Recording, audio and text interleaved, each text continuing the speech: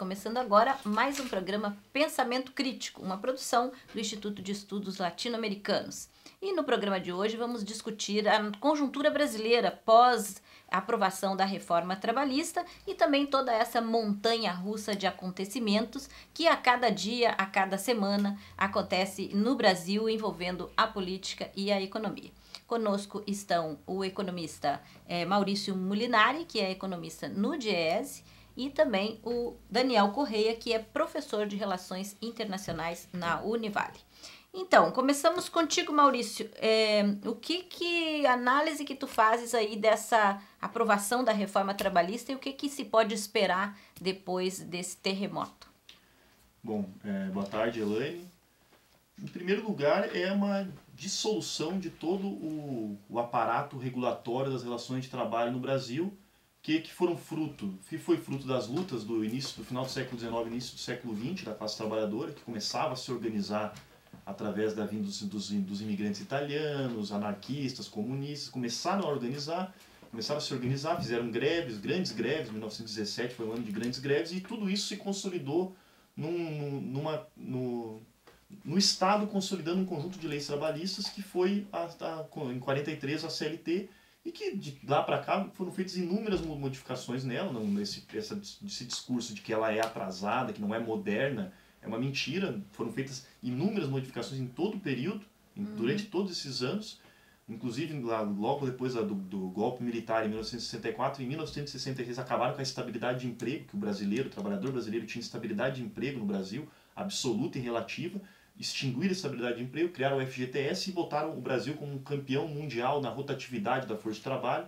ninguém permanece no emprego, e, foram dissolvendo, e agora, de fato, a, classe dominante não topa nem mais o mínimo marco regulatório. Então é um conjunto de modificações profundas nas relações de trabalho e na, na forma de representação da classe trabalhadora também, e na proteção da justiça do trabalho em cima, sobre a classe trabalhadora. Então, mexe nesses três pilares, que são as condições de trabalho objetivas da classe trabalhadora, com, com é, múltiplas formas precárias de, de contratação. Agora, se, se é, essa reforma trabalhista, mais o projeto de terceirização que já tinha sido aprovado, institui o contrato temporário de nove meses, o regulamento teletrabalho, que é o, é o controle remoto do trabalho, sem controle de jornada, o, o próprio trabalhador assumindo o, o custo fixo da, do negócio, trabalho intermitente, que é a chamada jornada zero hora, o trabalhador fica à disposição do, do, do capitalista para ser alocado de acordo com as necessidades, com um contrato de jornada de horas de trabalho fechadas, então é, uma, é uma, um, um contrato absurdo de trabalho. É, o contrato de tempo parcial, que aumentou de 25 para 30 horas, a terceirização ampla, geral e restrita de todas as atividades, a pejotização, né, que já, a ampliação da pejotização, porque agora, antes se um trabalhador fosse um PJ, né, uma pessoa jurídica, através do microempreendedor individual, diversas formas, trabalhador autônomo, se ele é, fornecesse trabalho pra, regularmente para uma empresa só, ele podia estabelecer o vínculo de trabalho. Agora não mais. Já, a lei já define que ele é PJ, ele não tem vínculo empregatício nenhum. Então, isso, mais a questão da modificação das decisões de contrato, a jornada de trabalho, ampliação da jornada de trabalho, que agora pode ser até de 12 horas diárias, respeitando as 44 semanais, acaba é, pactuação de hora extra entre o trabalhador individual e o, o, o patrão, sem nem ao menos precisar fazer uma, uma, assinatura por verbalmente. Como que o trabalhador vai poder, que aliás é o, o, o, que existe de maior número de ações trabalhistas é buscando hora, não pagamento de hora extra. Não. Então ele, ele, a reforma inteira, a contra-reforma inteira foi feita para atender os interesses dos capitalistas que necessitam ampliar sua taxa de lucro em função da crise da crise capitalista que está colocada em função do, do, grau de monopolização da economia capitalista, porque o, a taxa de lucro necessária para reproduzir uma mercearia de uma esquina é de uma magnitude. A taxa de lucro necessária para reproduzir o, o, monopólio dos Batista, o monopólio do, do, do tanto do Joel quanto do Wake, né, é enormemente maior. Então esse capitalismo monopolizado de tal magnitude que está dentro de uma crise, ele agride de tal maneira a classe trabalhadora que vai consolidar nesse conjunto de modificações que fere frontalmente as condições de vida que já não eram boas. Não, não estamos falando de uma sociedade onde existe uhum. o, o, trabalho decente, todas as ilusões aí que a classe trabalhadora, é, as lideranças da classe trabalhadora adquiriram nesses últimos anos. Uma, uma classe trabalhadora que 80% dela recebe até três salários mínimos, precarizada no, no trabalho no trabalho, no trabalho no comércio, no serviço, na construção civil, na, na indústria mais, mais básica, mais precarizada. Então, é uma ampliação sem precedentes da taxa de mais-valia e, obviamente, ao, ao ampliar a taxa de mais-valia, a taxa de exploração vai recompor a taxa de lucro. Não sei se de nível, em nível suficiente para recuperar o tamanho da crise capitalista, mas vai jogar a classe trabalhadora num conjunto de modificações de instabilidade muito grande. Então, essa estabilidade que a gente viveu nos últimos anos, ela está efetivamente liquidada com a aprovação dessa reforma. Porque o que vai comandar agora vai ser, vão ser largos processos, enormes processos, tanto do setor público quanto do setor privado, de reconfigurar as relações de trabalho. Então há a possibilidade também de se encontrar resistência nesse processo. Mas a, a questão é, o sindicalismo vai se adequar à nova legislação trabalhista ou vai brigar contra ela? É isso que vai definir o que vai ser o futuro brasileiro agora. Ou se adequa, que é o que, o que me, de maneira pessimista eu acho muito provável que largas, largos setores sindicais vão se adequar à nova lei, ou vai se rebelar contra ela e aí sim tendo possibilidade de mobilizar as massas e enfrentar esse novo período. E, Daniel, outra coisa também importante nesse processo é essa ideia do acordado sobre o legislado. Quer dizer, também, uh, se agora, como dizia o Maurício, as pessoas ainda podiam recorrer à Justiça do Trabalho, isso também fica inviável. É isso? Claro, Elaine. É, bom, como o Maurício estava falando, isso define um conjunto de, de perdas para a classe trabalhadora e uma, uma expansão muito forte da taxa de mais-valia dentro do capitalismo dependente brasileiro. E é uma falácia completa, por exemplo, colocar que o trabalhador poderia ter o um mínimo de liberdade para negociar com seu patrão, por exemplo, alguma condição de trabalho. Isso é, precisamente nunca existiu de fato, nem enquanto o sindicato mobilizado, essa capacidade de negociação já era levada a, uma, a, uma, a um patamar suficiente para compor uma classe trabalhadora efetivamente é, mais digna, o que no capitalismo dependente é absolutamente impossível, e que, é, diante desse cenário do negociado sobre o legislado, a classe trabalhadora fica ainda mais desamparada, porque ela estava amparada por sindicatos, e aí, jogada a sorte da, da, da forma com que o sindicato se organizava, o trabalhador poderia ter mais ou menos vitórias num conjunto de disputas com a classe dominante. É, isso agora fica absolutamente vetado com a, a, a instituição do negociado sobre o legislado.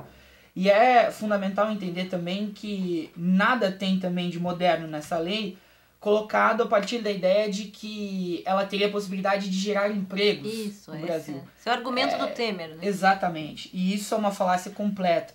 Países que passaram por processos de supressão de leis trabalhistas é, como os países europeus após a crise de 2008, por exemplo, são o, o, a, a, ilustração mais próxima que a gente tem em termos temporais, não em termos da estrutura do, do, do setor do trabalho, mas o que a gente tem de comparação é um desastre completo. O caso é, espanhol ilustra muito isso. Uh, são trabalhadores altamente precarizados, desamparados frente à negociação é, junto aos seus empregadores e o que se mostrou foi, inclusive, que é, um, teve um aumento gigantesco no número de trabalho parcial. Essa jornada parcial que o Maurício colocou aqui, de 25 para 30 horas, nessa expansão, pessoas que tinham uma jornada integral de trabalho passaram a ter trabalhos parciais e que não tem um, um, um patamar de pagamento suficiente é, na Espanha que dirá no capitalismo dependente e subdesenvolvido brasileiro. Então, é uma falácia completa acreditar que essa contra-reforma, essa supressão dos direitos trabalhistas poderia, mesmo ela, ser capaz de gerar novos empregos no Brasil. Inclusive porque até 2012, o capitalismo brasileiro, com essas mesmas leis chamadas de é, leis altamente prejudiciais à contratação de trabalhadores por parte da classe dominante, atingiu a menor taxa de desemprego na história do capitalismo brasileiro. Né? A gente teve uma taxa de desemprego próxima dos 4% aí em 2012, sob essas leis que são consideradas inviáveis para a contratação e necessárias para a superação do desemprego. A despeito disso, obviamente, é preciso sublinhar, como o Maurício colocou aqui, que os empregos gerados para é, essa taxa baixíssima de 4% são empregos de péssima qualidade. A única forma de emprego possível no capitalismo dependente subdesenvolvido, que acaba se apresentando quando não ocorre uma ruptura específica com essa nossa condição de dependência e subdesenvolvimento. Então, dentro da classe trabalhadora, o que sobram são empregos extremamente precarizados, que já vigoravam até 2012, e diante da crise, é, o cenário do desemprego se expande, e não é por acaso, obviamente, isso para quem está em casa, para quem está nos acompanhando por qualquer canal, é fundamental perceber que um ataque como esse, orquestrado, é, pautado contra a classe trabalhadora, não vem por acaso e não é por acaso que ele vem agora, especificamente quando a classe trabalhadora está fragilizada. E ela precisaria contar uma força, uma resistência de movimentos sociais e, sobretudo, dos sindicatos para poder resistir a essas alterações substanciais na forma de relação capital-trabalho que está sendo redefinida no Brasil. Uhum. E é preciso sublinhar que, a despeito de toda a, a fragilidade do governo Temer em termos de estabelecimento de relações com o Congresso, com os movimentos sociais, uh, de qualquer relação com a, a população em geral, a despeito de toda essa fragilidade que se projeta sobre ele, ele consegue ainda assim aprovar pautas importantes para a recuperação da taxa de lucro para a classe dominante.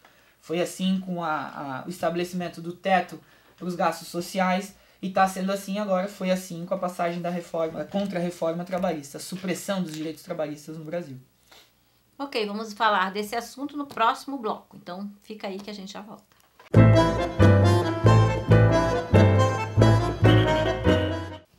Voltamos então com o nosso programa Pensamento Crítico, uma produção aqui do Instituto de Estudos Latino-Americanos. E hoje falando sobre a conjuntura brasileira. Estávamos falando sobre a reforma trabalhista e queria que vocês falassem um pouco sobre isso também. A gente ouve muito por parte dos trabalhadores, é, muitos trabalhadores que dizem, ah, isso também não me atinge, né? Porque nós sabemos aí que dentre os milhões de trabalhadores que estão economicamente ativos, nós temos uma minoria que tem carteira assinada, ou seja, essa minoria que vai perder direitos. Uma grande parcela dos trabalhadores, eles nem carteira assinada têm, portanto, todos esses direitos para eles parecem coisa que não, não tem é, correspondência na vida cotidiana deles. Né? Como é que vocês avaliam esses números e essa também apatia né, da maioria é, dos trabalhadores diante de uma derrota tão grande colocada é, contra eles no Congresso? Por que a classe trabalhadora não se levanta? Né? Essa é a, é a questão não se levanta porque não há um processo de capacidade política das lideranças da classe trabalhadora de promoverem um levante, porque nunca se houve uma conjuntura, pelo menos na história recente do Brasil, tão propícia para agitação e propaganda nas portas das fábricas, nas portas dos grandes supermercados, nas portas das grandes empresas, nas portas do, do, do, das empresas do setor público. Nunca se houve uma conjuntura tão propícia. Os trabalhadores sabem que o sistema político apodreceu, não confiam em ninguém, isso está mais do que claro. Os trabalhadores sabem que os seus empresários, os seus patrões, que até pouco tempo atrás eram os, os, os bons moços, isso se dissolveu na atual conjuntura brasileira, onde delações atrás de delações demonstram o que é o empresariado brasileiro, isso se consolidou na classe trabalhadora brasileira. Então a gente tem uma conjuntura extremamente favorável para agitação e propaganda, mas não temos agitadores para fazer essa, essa, esse, esse trabalho. Esse é o ponto. A grande maioria do movimento sindical, que é, que, seria, que é aquele que tem o vínculo direto com essa classe trabalhadora, está submetida já a longa data sob uma, submetida a uma razão de Estado.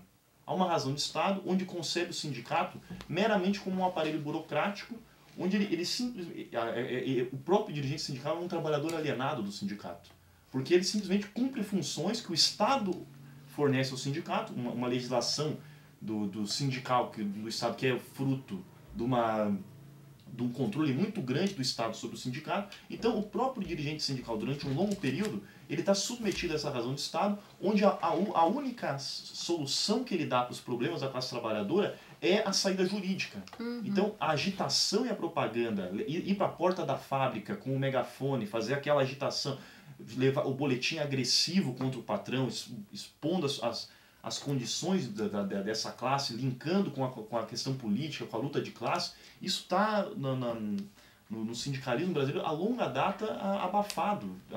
E quem entrou, inclusive, tem o, houve um processo anterior ao, ao, ao, ao período da, das vacas gordas, do crescimento econômico, das políticas públicas, e, e teve um longo período também de, de, uma ampla gama de sindicalistas que entraram nessa condição, que não tiveram nem ao menos a experiência de luta. Hum. Então a gente tem uma fragilidade enorme dos aparelhos que deveriam estar hoje na ponta de lança desse, desse confronto. E o trabalhador submetido a um processo de exploração, onde trabalha em torno de 10 horas, pega mais duas horas de condução, chega em casa, tem só a Rede Globo para assistir, assiste a novela esse trabalhador está completamente subsumido a um processo de alienação. Ele, ele até lá tem, de maneira latente, ele, ele sabe que é explorado, ele sabe que sua condição de vida é precária, mas se não há essa intervenção da liderança política, que seria o dirigente sindical nessa, nesse contexto, não há como fazer essa, é, é, é, essa explosão das massas. Ela pode até ocorrer aqui e acolá, mas não há como fazer isso enquanto não tivermos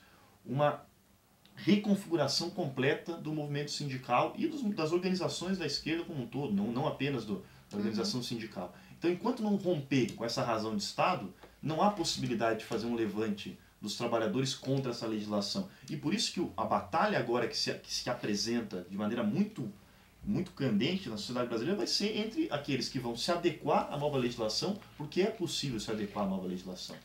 É possível a estrutura burocrática sindical com algumas alterações, com algumas modificações, principalmente pelo fim do imposto sindical, mas com algumas modificações é possível se adequar. É possível se adequar e ir, lá, e ir para a classe trabalhadora levar a justificativa do porquê a sua vida é ruim.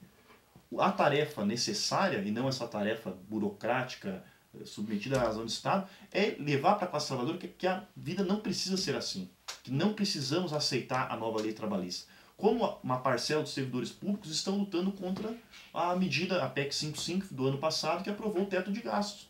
Estão derrotando na prática a medida, com greves, com enfrentamento, com derrotas também, porque há possibilidade de derrotas, mas o enfrentamento, o conflito que se é a única maneira de fazer com que a classe trabalhadora amadureça nesse processo, porque ela está disponível para amadurecer, mas precisa de um amplo trabalho de agitação e propaganda, nos termos leninistas da, da palavra que hoje não existe. Objetivamente não existe. E o fracasso do dia 30, uh, ah, que ficou muito aquém do que poderia ser, comparado com o que foi o dia 28, a greve geral do dia 28, e, ou a, ocupa, a ocupação de Brasília uh, lá no, em, em, maio, tem a ver com isso. Há uma fragilidade, um, um, grau de organização muito pequeno da classe trabalhadora que fez com que, pela própria uh, natureza de um processo político que tem momentos de, de excitação, momentos de acúmulo e momentos de baixa, esse momento de baixa veio muito cedo.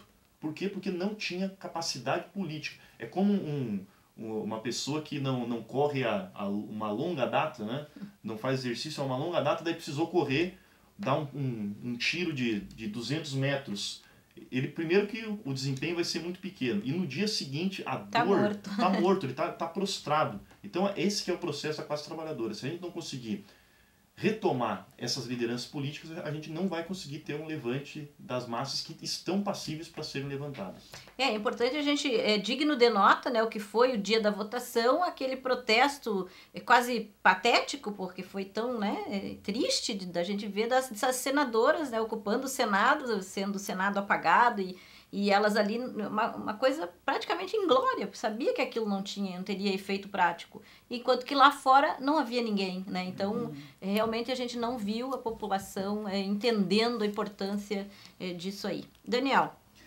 É, bom, Elaine, nessa, diante dessa, dessa situação que tu trazes, né, a configuração da classe trabalhadora no Brasil, é, eu acredito que tem dois aspectos fundamentais para a gente sublinhar com relação a isso.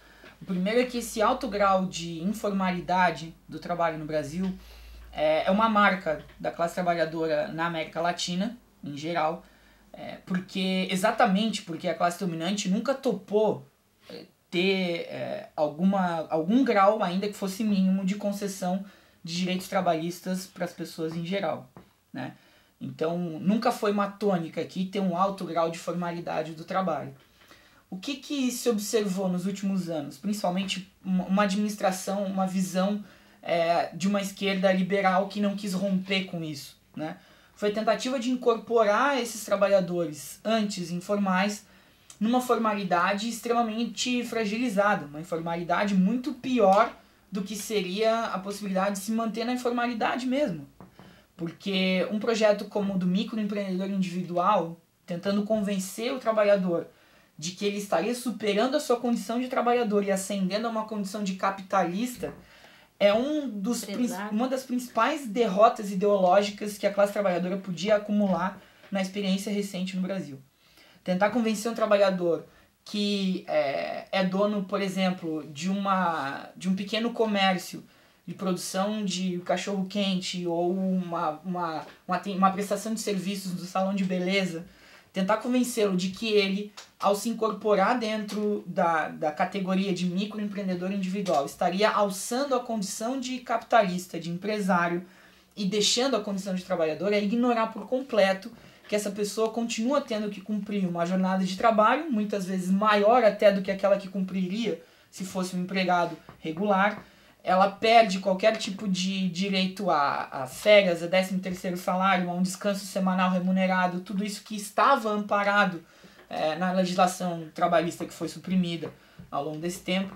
Então, a, a, a grande derrota ideológica que a gente poderia ter é, é, seria essa capacidade de tentar lidar com uma superação da condição de trabalhadores. Eles continuaram trabalhadores, agora numa formalidade, mais precarizados do que eram antes.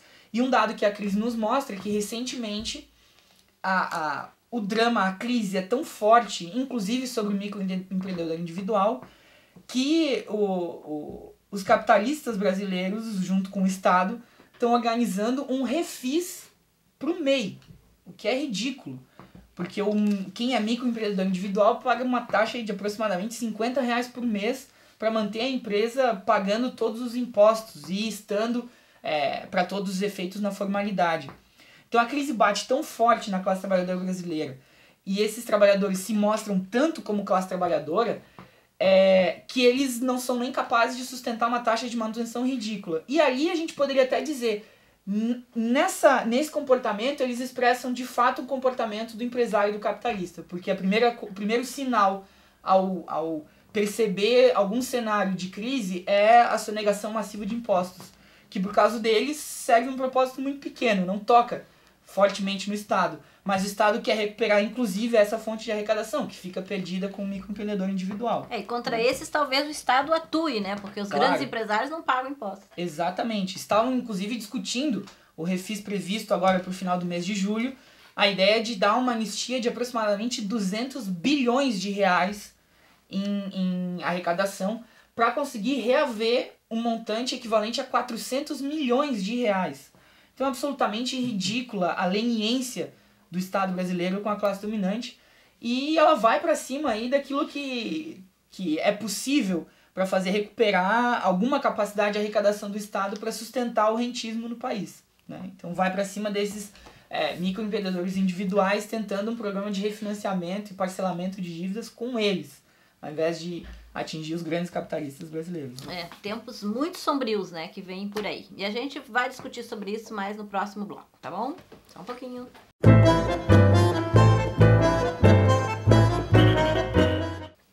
Voltamos então com o nosso programa Pensamento Crítico e hoje falando sobre a conjuntura brasileira pós-reforma trabalhista.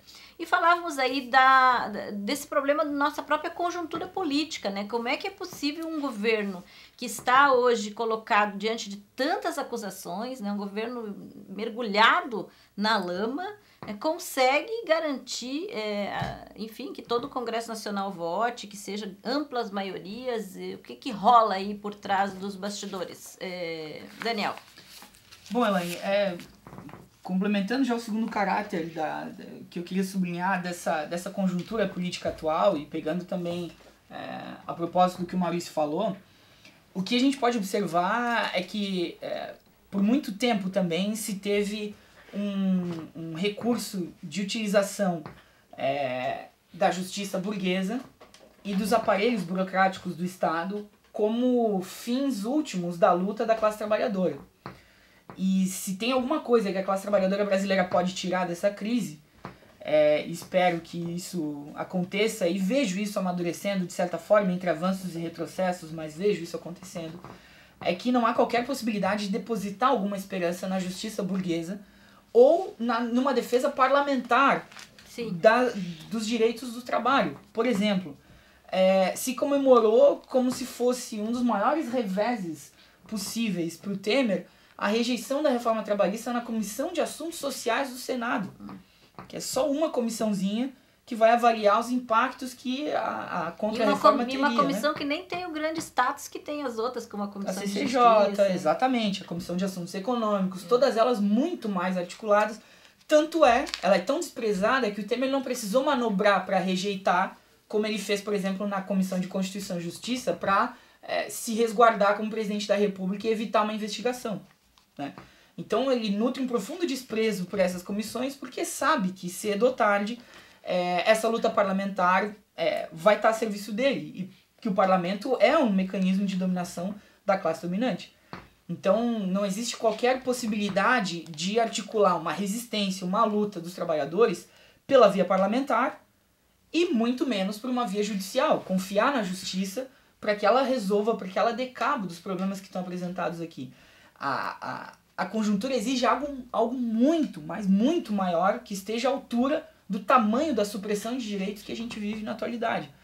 Então, qualquer tipo de luta nesse sentido, é, até agora, toda essa prudência recomendada só gerou retrocessos. Uhum. Então, o que a gente pôde observar na prática foi que, por exemplo, Maurício sublinhou aqui, né? Teve uma greve forte no dia 28 de abril, ela acumulou forças para uma forte marcha em Brasília no dia 24 de maio.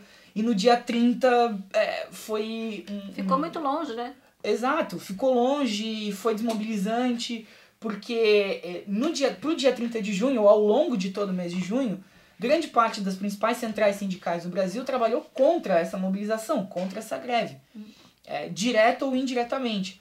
E sob uma alcunha de que seria possível resguardar determinados direitos nessa contra-reforma trabalhista, caso a luta não fosse tão expressiva quanto tinha sido nos dois meses anteriores.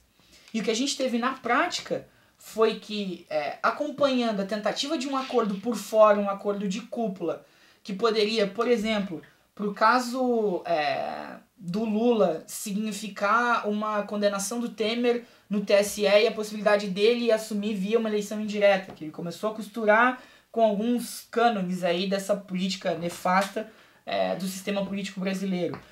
Ou a possibilidade de que a contra-reforma trabalhista passaria mas se conseguiriam alguns adendos, como por exemplo garantir que uh, mulheres grávidas não fossem submetidas a uma condição de insalubridade no trabalho. Ora, essa vitória, obviamente que ela é importante, mas ela é, é extremamente fracionada perto do conjunto de direitos que os trabalhadores perderam. E pior ainda, grande derrota foi relacionada à contribuição sindical. Né? A grande jogada que existia para as forças sindicais colocarem na mesa para discussão, para debater e para costurar esses acordos por fora da classe trabalhadora em geral, da sua base, foi a contribuição sindical. E uma vez aprovada a contra-reforma trabalhista, no dia seguinte já o Rodrigo Maia, presidente da, da, da Câmara dos Deputados, já disse que não estava disposto a apresentar nenhum substitutivo, nenhuma emenda ao projeto original, nenhuma medida provisória que pudesse reaver a contribuição sindical, que era grande aposta das centrais para desmobilizar é, a classe trabalhadora durante todo o mês de junho. Então, na prática, o que a gente vê como resultado desse tipo de política é ela é absolutamente desastrosa, não só para as centrais, não só para essa cúpula e principalmente para a classe trabalhadora.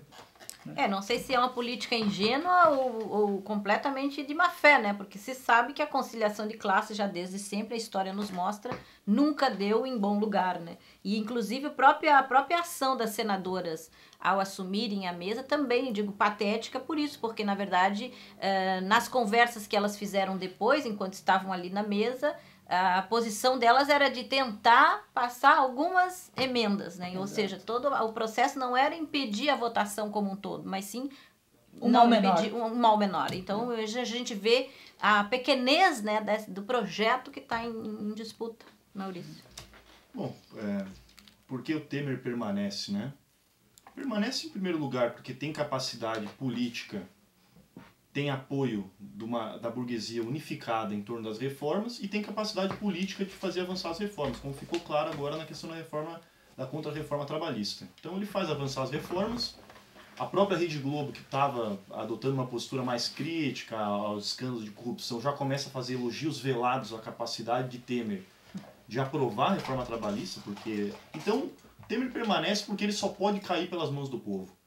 E o povo não tem capacidade organizativa ainda para derrubar o Temer. Então é muito difícil essa ideia de que o Temer possa cair. Pode cair pelas porque há uma, uma certa postura de, um, de membros do judiciário de, umas, de, de, de, de tentar é, conferir moralidade à República Brasileira. Então, nessa postura de algum membro, de alguns membros, como o Procurador da República, Rodrigo Janot, isso pode criar alguma instabilidade e, enfim, pode ser que, ah, que a, a, partir daí haja uma, uma queda do governo Temer. Mas a maior probabilidade, pela sua capacidade de fazer avançar as reformas, é que não caia. E só pode cair de maneira a ser um símbolo para a classe trabalhadora, um símbolo da luta dos trabalhadores, se for pela mão dos trabalhadores. Mas a classe trabalhadora está submetida a um. Tem um texto do, do, Shakespeare, que é o Hamlet, que no Hamlet, o Hamlet, né, o príncipe, filho, o, o pai é morto, o rei é morto, e o fantasma do rei aparece. O fantasma do rei diz que o tio que tinha assumido o trono, né, o tio de Hamlet, tinha assassinado o, o pai e tinha e inclusive se casou com a mãe de Hamlet e, e põe a tarefa para Hamlet matar o seu tio, matar o seu tio, matar o seu dominador. Hamlet, impotente, incapaz de, de cumprir a tarefa, cria um teatro para acusar o rei, através de um teatro, através de um simulacro. E a classe trabalhadora brasileira, as lideranças da classe trabalhadora brasileira, estão há mais de duas décadas fazendo simulacro de que vão matar o, o matar o usurpador, de que vão com, combater a burguesia. E ao fazer simulacro, seja na negociação coletiva de salário, seja no parlamento, aquela casa onde só faz falar e o povo se estrepar na vida cotidiana, na vida comum, fica fazendo esse simulacro. Então a própria ação das senadoras é um simulacro, é um teatro. Um teatro sem capacidade nenhuma de consolidar isso numa luta real. Então a classe trabalhadora está acostumada, não a classe trabalhadora, a a instância burocrática da classe trabalhadora, que está em risco, porque o fim do imposto sindical, como foi colocado pelo Daniel aqui, modifica profundamente a estrutura sindical brasileira e mexe no, no que há de mais. No, no, e mexe nas camadas superiores da estrutura sindical. Porque quem mais vai ser afetado pelo fim do imposto sindical vão ser as centrais, as confederações e as federações. Os sindicatos têm um impacto menor do fim do imposto sindical, uhum. porque tem outras formas de contribuição os, as federações, confederações e centrais não têm outra forma de, de, de arrecadação. Então aí mexe mais profundamente. Então vai haver, acaba, quando acaba a possibilidade do teatro e vem a guerra de classe, que é isso que a gente está colocado agora, não há mais espaço para fazer isso. E quem não está acostumado com a luta real vai ter que aprender a lutar de maneira real para matar o rei usurpador, que é a classe dominante que está usurpando todos os nossos direitos todos os nossos direitos. Não há nenhum, não vai sobrar previdência, não vai sobrar direito trabalhista, não vai sobrar o, o serviço público, vai ser liquidado. Os, a, a nova lei trabalhista autoriza que os processos de demissão voluntária e demissão incentivada não passem mais por negociação com os sindicatos das categorias. Então isso vai ser e já, já assim que foi, já está anunciado um conjunto de mais de nove grandes estatais brasileiras que já vão implementar a, a Eletrobras, Correios, enfim, um conjunto de estatais já vão implementar programas de demissão voluntária para o quê? Para liquidar com o setor público, enxugar a máquina pública, assumir o passivo trabalhista e logo depois entregar para a iniciativa privada, para o capital estrangeiro comprar as empresas. Então já está à beira de acontecer um novo processo de desnacionalização. Então a pauta, da, da a pauta classista, lutar contra os usurpadores do, da classe dominante e contra o imperialismo que vai comprar todas as nossas o, o que sobrou da, do patrimônio, do nacional. patrimônio nacional, porque já está sendo liquidado já de longa data e não parou em nenhum dos governos desde a da redemocratização, só ampliou os processos de privatização.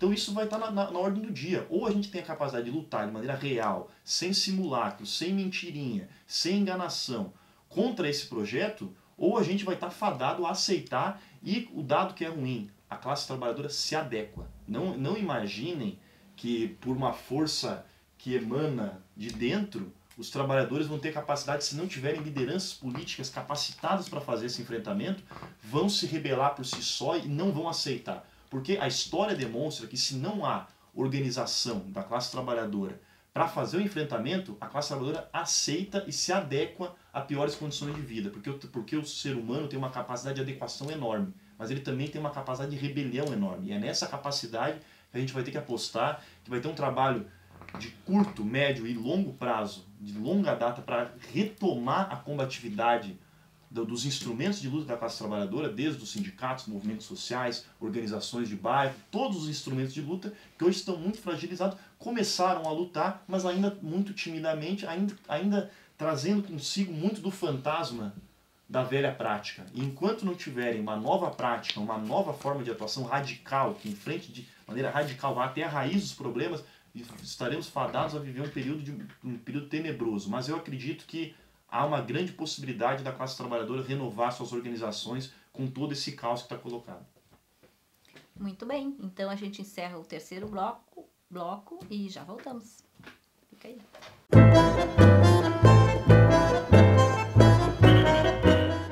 Então com o nosso programa Pensamento Crítico, hoje falando sobre a conjuntura brasileira pós-reforma trabalhista. E como sempre acontece no nosso último bloco, uma dica de leitura. E como a gente viu aqui a necessidade de irmos até a raiz dos problemas que enfrenta o nosso país, que está tomado pelo capitalismo, a nossa dica de hoje é justamente O Capital, de Karl Marx, né, que é esse filósofo alemão, cientista político, economista político, que oferece aqui nessa obra, tanto no livro 1, 2 e 3, todo um arcabouço de conhecimento sobre como funciona esse sistema é, chamado de capitalismo. Né? Então, a gente compreendendo isso, fica também mais fácil para encontrar as saídas, os caminhos né, dessa crise que a gente passa, que não é só uma crise econômica e política, mas é uma crise também é, das instituições e dos instrumentos dos trabalhadores, né? no caso do Brasil, é, dependente né, é que a gente vive aqui. Então eu queria que a gente também discutisse agora, a gente falou do imposto sindical, né? como que também é, grande parte dos sindicalistas é, que sempre foram muito combatidos, sempre se colocaram contrários ao imposto sindical, né? Particularmente eu fui dirigente sindical durante algum tempo e, e, o nosso sindicato, por exemplo, devolvia o imposto sindical aos seus aos filiados, porque entendíamos que, que não era aquilo que deveria ser, né? Por quê? O sindicato tem que ir atrás do seu trabalhador, ele tem que fazer o combate, o corpo a corpo com o trabalhador. E é justamente nesse processo que ele ganha o trabalhador para as fileiras do sindicato e é nesse processo que ele também vai formando o trabalhador.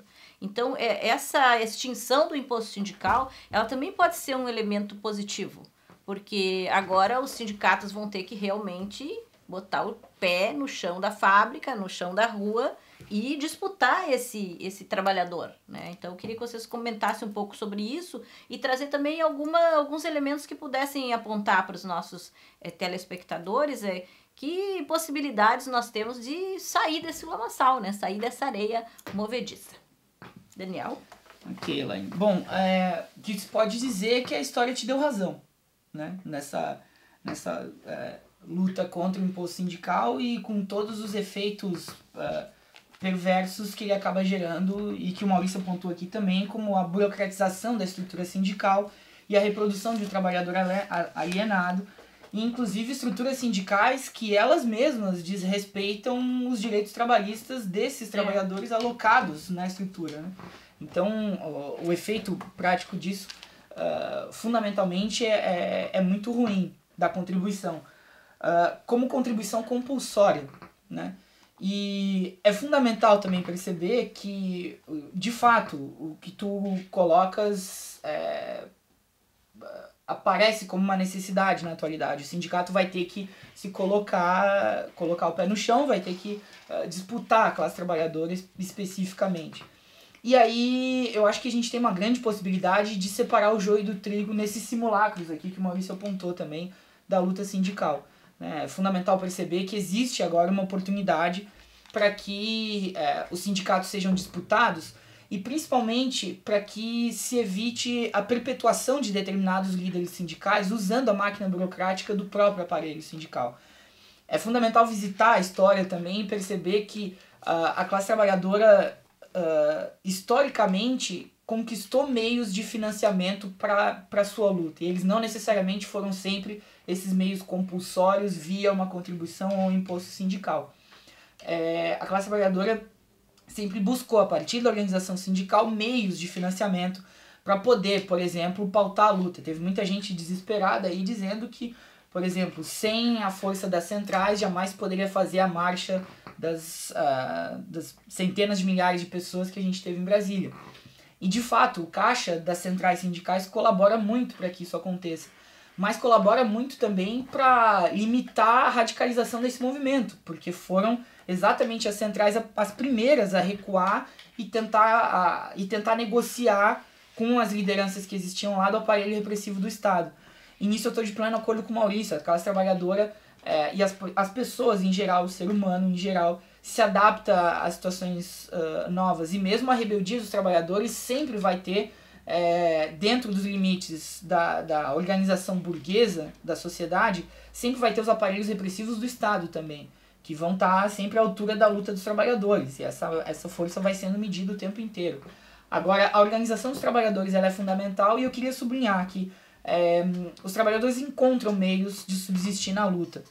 É, é claro que é fundamental analisar como efeito prático específico agora que eu prevejo, pelo menos para os próximos 12 meses, uma alteração profunda na estrutura sindical, na forma de organização dos sindicatos, uh, na maneira com que eles conseguem pautar suas próprias lutas, porque de fato isso é, colabora com uma limitação material muito grande. Mas uma limitação material que uh, Rosa Luxemburgo já dizia, uma limitação uh, material travestida de uma, de uma ideia de que é impossível lutar sem ter dinheiro para a luta. E se coloca isso como uma objeção para os trabalhadores. Uhum.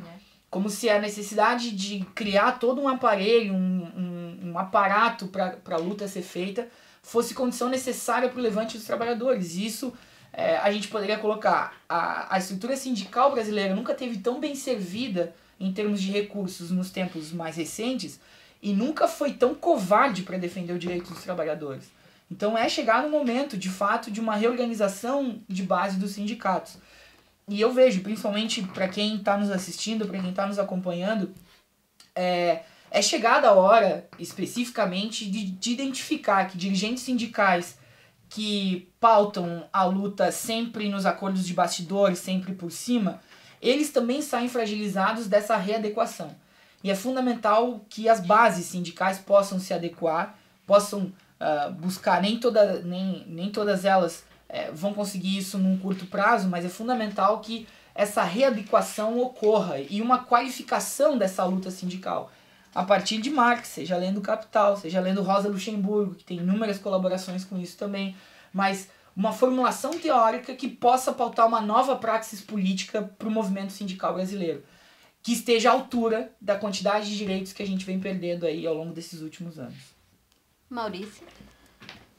É, em relação ao, ao fim do imposto sindical, eu, eu, eu não, não, não, não tendo a ver como imediatamente isso se reverta em combatividade. Porque, em primeiro lugar, o, sindicato pelego mesmo tem inclusive subvenção patronal, que é uma forma que próprio, os próprios patrões botam dinheiro no sindicato para garantir a, a, assistência do sindicato, enfim. Então tem outras formas que são também nocivas, mas, mas de qualquer maneira, o que o, imposto, o fim do imposto sindical gera é uma profunda é, desorganização da atual estrutura.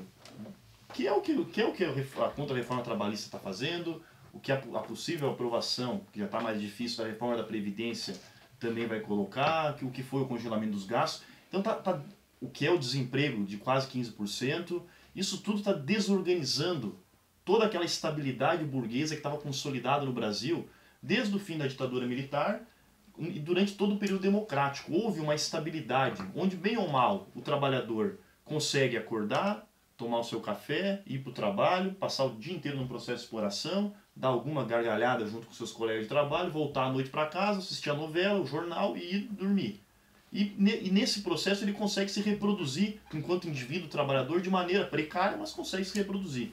O sindicato também, a, a, o, o financiamento estatal da atividade sindical também dava essa possibilidade para o próprio dirigente de acordar de manhã, tomar seu café, ir para o seu trabalho, fazer uma homologação, distribuir um informativo, fazer a negociação, voltar para casa, dormir, assistir a novela, que eu também assisto, e, e, e dormir. E isso está tudo em xeque, porque não há mais possibilidade de, se, de a, o capital desorganizou a vida da classe trabalhadora. Desorganizou completamente a vida da classe trabalhadora. Então aí eu, eu vejo uma possibilidade.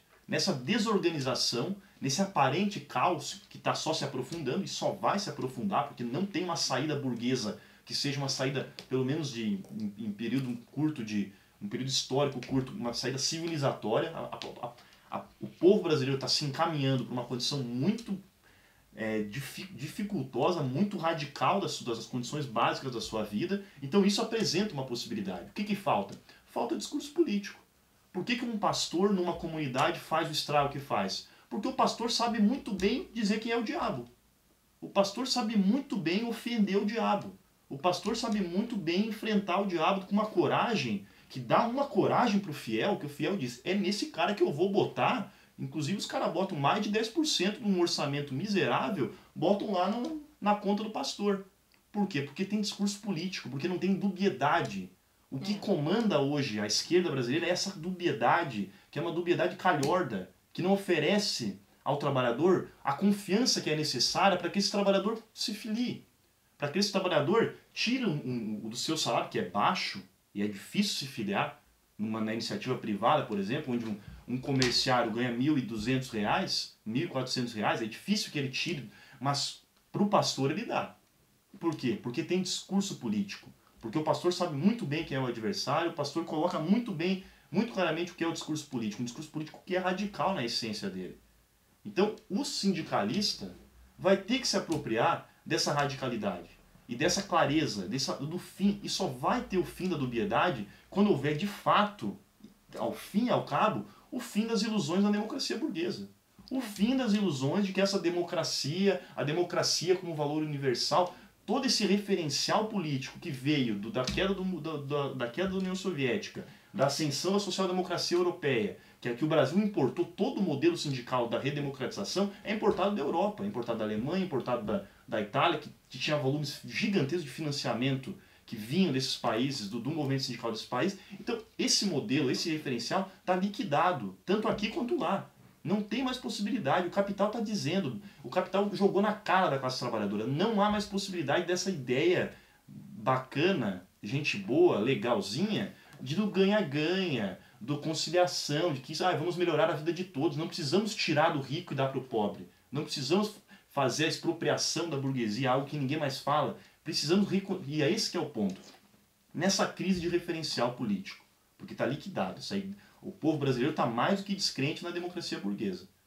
Nessa crise de referencial político, não dá mais para reconstituir essa ideia do, da conciliação de classes, porque a, dia após dia tenta se levantar a bandeira da conciliação de classes, no dia seguinte vem uma medida lá do parlamento burguês é. ou da presidência e detona com isso, ou nos próprios locais de trabalho. Então, há a possibilidade agora, e é esse que é o ponto, de retomar o referencial da revolução, da revolução brasileira, desses, desses processos verdadeiros, quando se enfrenta de fato, de maneira sem simulacro, sem faz de conta, se enfrenta o poder, se enfrenta a classe dominante. Só retomando o referencial revolucionário que está em Marx, está em Rosa Luxemburgo, está em Lenin, está em Rui Mauro Marini, está em Caio Prado Júnior, está no, tá nos grandes brasileiros, nos grandes latino-americanos, nos grandes pensadores do mundo, os pensadores socialistas, só a partir do momento que a gente recuperar esse referencial, a gente vai ter possibilidade de fazer uma agitação decente no local de trabalho e levantar as massas para o enfrentamento dessa guerra, que é uma guerra que não é para um ano, dois anos, é uma guerra para no mínimo uma década, porque a profundidade da guerra é violenta e precisamos retomar as nossas armas, que é a arma da crítica, a única arma,